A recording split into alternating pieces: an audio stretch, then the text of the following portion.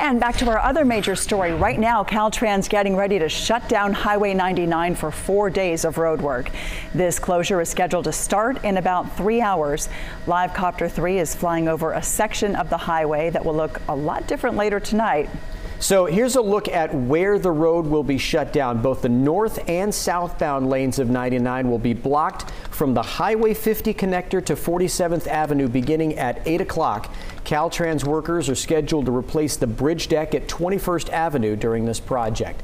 And this is going to be the largest road closure ever in the Sacramento region. And quite disruptive. Yes. So KCRA 3's Emily Maher spent the afternoon with the crews making the pieces to build that bridge. She tells us when it'll all start coming together.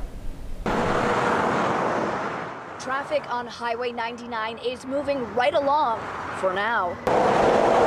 And by this time tomorrow, 99 will be shut down in both directions as crews replace the bridge over 21st Avenue.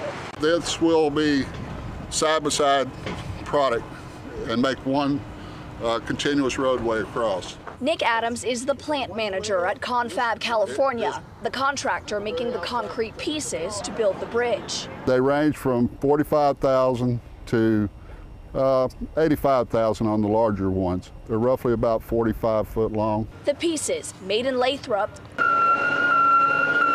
are being moved to Stockton today. Then 35 pieces just like these and those will be moved overnight and staged at the site as part of this historic project. This is something that's never really been done before, and this is a really innovative project. Caltrans is using a new process to fix 99 fast. It's called the Accelerated Bridge Construction Method. We've been doing a lot of pre-work beforehand, getting ready. Part of that is this precast um, girder that you're seeing right here. The goal is to replace the bridge deck in 99 hours. If all goes well, Caltrans says this method could be used to get other projects done faster but other projects that may have took like two years or three years and now just maybe a couple days. As the pieces start moving and construction gets going, for the crews working on the job, it's always cool because you're able to look back and say that was what I had part of doing. Emily Maher, KCRA 3 News.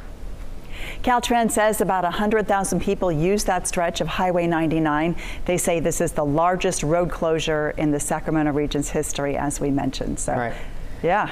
Yeah, so be sure to download the KCRA3 app to stay updated on this extended highway closure. There's also an interactive traffic map. This is important to help you find alternate routes around that. Uh, all of the information also can be found at kcra.com.